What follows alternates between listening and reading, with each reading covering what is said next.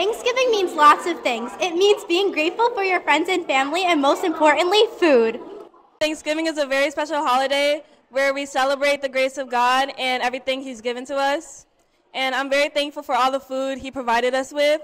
And yeah, we're just going to have a great time. Family and friends. Um, and also, it shows that uh, there's a lot of the history behind the pilgrims, what nobody knows about. Love. Thanksgiving means to have a very nice day with your family and friends.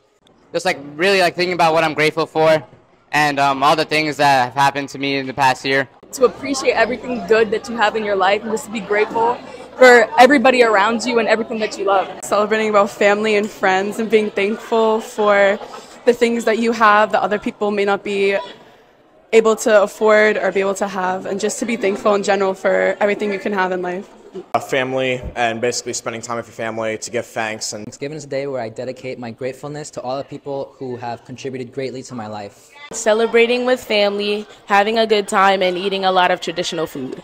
Is when you're with your family and you appreciate them and you tell them how much you love them. Thanksgiving is a very important time. It's a good time to be grateful for everything that we have. I'm grateful for my family.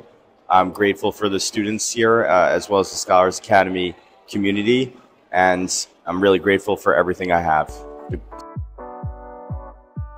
Celebrate Thanksgiving by going out to dinner with my friends and family. Thanksgiving with family and friends all the time. Uh, I go to a party and we watch the football. Thanksgiving is to me is gathering around your family and spending time, being around my loved ones and having fun. It's a time where I can like see my family and also watch some football. Going out to dinner with my dance family and and like my mom and dad and going to regionals. All my family comes in to like Brooklyn because that's where my grandma's house is and we all like eat there.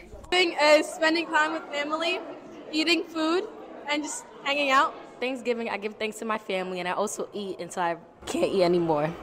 Thanksgiving by spending it with my family.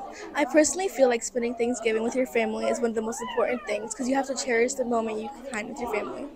By going to my uncle's restaurant and all my family on my dad's side goes and we eat like like a lot of Thanksgiving foods and then we also have like a talent show. I start by um, going to my dad's house and I eat food. Go for each other.